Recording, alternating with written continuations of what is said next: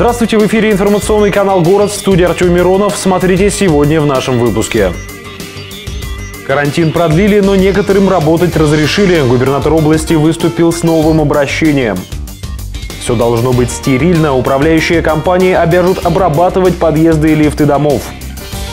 Мощности лабораторий хватит. Роспотребнадзор области предлагает тестировать на коронавирус всех кировчан с признаками ОРВИ. Снова тонут в озерках, в огромные ямы, машины проваливаются практически наполовину. Старшие ушли на фронт, а младшие пошли на заводы. Сегодня в рубрике «Бессмертный полк онлайн» новые герои. Карантин продлили, но некоторым работать разрешили. Губернатор области Игорь Васильев сегодня выступил с новым обращением. Этого решения ждали всю неделю, ведь сегодня 24 апреля – последний день карантина, объявленного ранее. Решение принималось на оперативном штабе по рекомендации главного санитарного врача области. В итоге принято решение о продлении карантина до 30 апреля. Смягчить или снять ограничительные меры пока не позволяют слишком большие цифры по количеству заболевших коронавирусом. За последние сутки диагноз подтвердился еще у 31 человека. Сейчас общее количество случаев COVID-19 составляет уже 349 человек. Вместе с решением продлить карантин в области губернатор расширил перечень предприятий, которые смогут начать работу уже завтрашнего дня, с 25 апреля.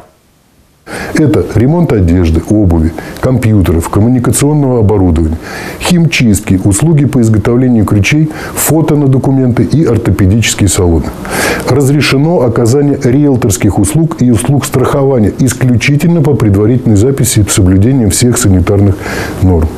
Могут возобновить работу обрабатывающие производства по согласованию с главным санитарным врачом. Принято решение возобновить работу торговых точек по продаже саженцев, семян и садового инвентаря без открытия торговых залов при условии соблюдения санитарных норм или организации работ на выдачу, либо на улице на огороженной территории. Закрытыми по-прежнему остаются торговые центры, салоны красоты, спортивные залы, развлекательные центры и общепит. Как объяснил губернатор, это места массового пребывания людей. И имея такую статистику по коронавирусу, открыть их пока возможности нет. Запрет на работу для них будет снят только после особого распоряжения. Все должно быть стерильно. Управляющая компания обяжут обрабатывать подъезды и лифты домов. Те, кто откажется выполнять предписания, будут штрафовать. Есть, кстати, новости про дезинфекцию городских улиц и остановок.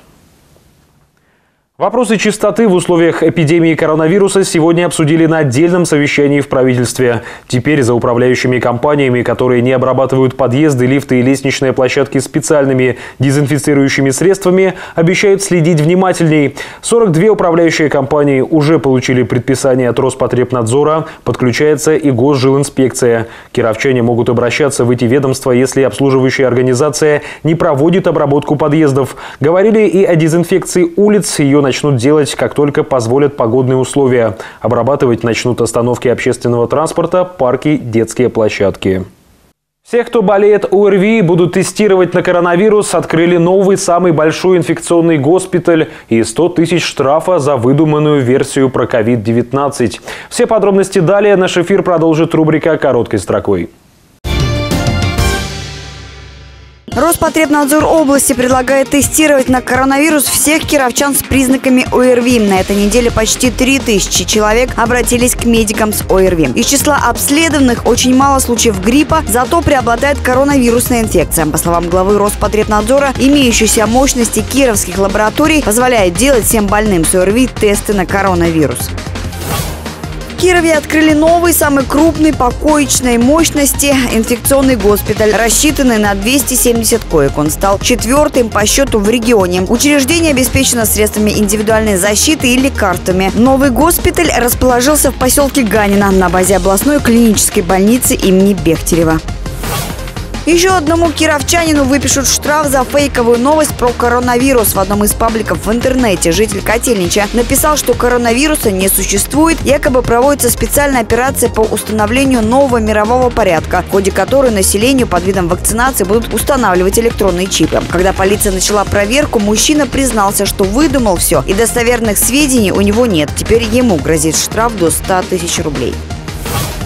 Жители Кировской области за один день перевели мошенникам 740 тысяч рублей. Обманывали кировчан с помощью старой схемы. Кировчанам звонили якобы с банка и говорили о похищении денег с банковских карт. Они оставляли все реквизиты. По всем фактам полиция начала проверки. В эфире информационный канал «Город» и мы продолжаем. Снова тонут в озерках, в огромные ямы машины проваливаются практически наполовину. Состояние дороги на улице Торфяной давно вызывает гнев жителей этого района. Предназначена она была изначально только для строительной техники, когда район начал только застраиваться. С тех пор другой нормальный для людей так и не построили. Вот и оставляют здесь теперь в огромных ямах бамперы и другие части от машин. Вставайте, вставайте, я вам на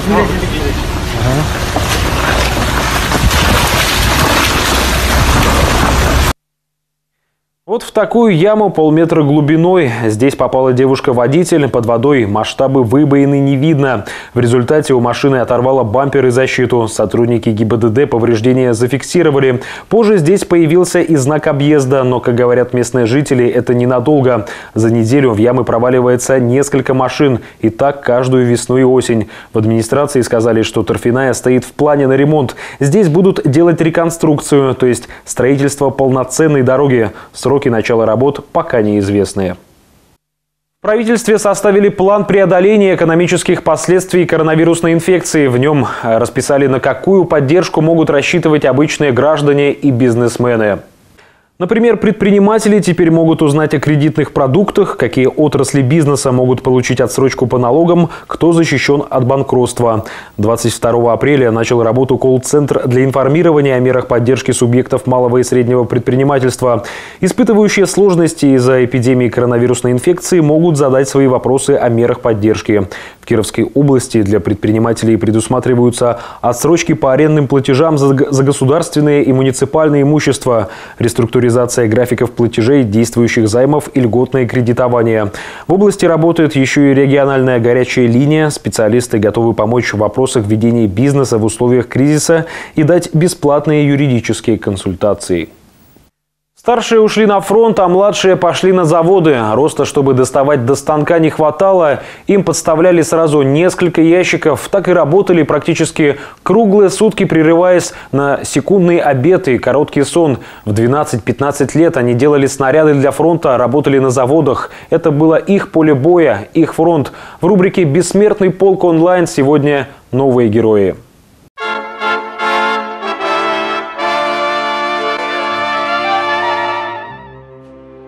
Горячкин Иван Григорьевич родился 28 мая 1910 года в деревне Бесово Немского района. В 1941 году ушел на фронт рядовым. В июне 1944 в бою с немецкими захватчиками был ранен и направлен на излечение. Дальнейшее его местонахождение неизвестно. В июле 1944 года его жене пришло извещение о том, что красноармеец Иван Горячкин пропал без вести. Колпащиков Василий Панфилович родился в 1909 году. Красноармеец, стрелок. Пропал без вести в мае 1943 года. Кожухов Алексей Алексеевич родился 24 января 1928 года в Доровском районе деревни Кожуховы. Отправлен на службу рядовым в город Свердловск. Вернувшись после фронта, продолжил работу на Кировском заводе «Авитек». Там проработал до пенсии. Ветеран труда и ветеран Великой Отечественной войны. Касин Николай Иванович родился 30 июля 1923 года. Рядовой. Воевал на Калининском фронте в мотострелковой дивизии в роте автоматчиков. В бою был ранен в коленный сустав. Демобилизован в 1943 году. Награжден медалью за отвагу за доблестный труд в Великой Отечественной войне. Мулина Любовь Павловна родилась в 1926 году в деревне Большие Кочеровы. Во время войны работала на заводе номер 324, сегодняшний Сельмаш. Делала снаряды по 16 килограммов. Она не дотягивалась до станка, ей подставляли ящики. Награждена медалью за доблестный труд в Великой Отечественной войне.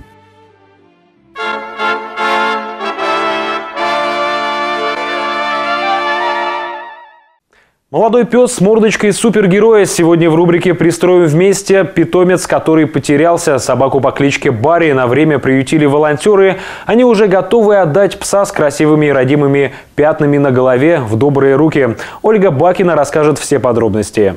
Рано или поздно длительные и полноценные прогулки обязательно вернутся в нашу жизнь и составят компанию в этих уличных гуляниях вам наш сегодняшний герой.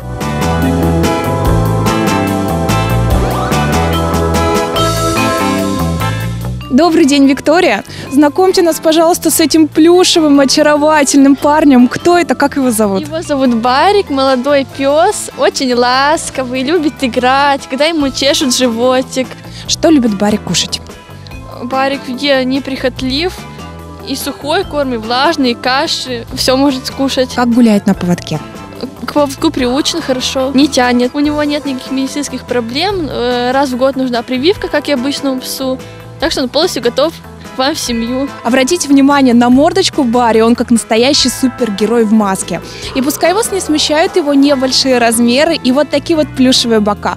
В душе он настоящий мужчина, который будет отстаивать честь и достоинство своего хозяина. Поэтому Барри пристраивается единственным домашним животным в семье, потому что собственник парень, да? Да. Вик, скажите, пожалуйста, если а, кто-то захочет приехать и познакомиться с Барри лично, погулять с ним, возможно ли это? Да, возможно. Что нужно сделать? Приехать в деревню Осенцы, погулять, познакомиться с ним. А можно ли как-то еще помочь собакам на передержке? Можно привозить корм, крупу, амуницию для собак, поводки, ошейники. В общем, а, будут рады абсолютно всему, любой вашей помощи. Ты сладкий, ты сладкий, сладкий такой пес. Да, шавака, такая шавака, шавака.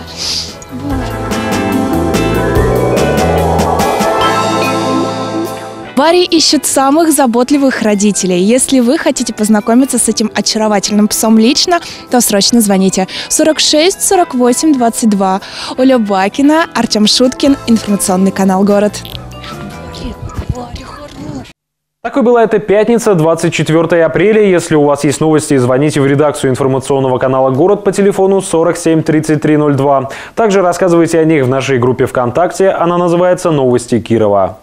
В студии для вас работал Артем Миронов. Увидимся в городе.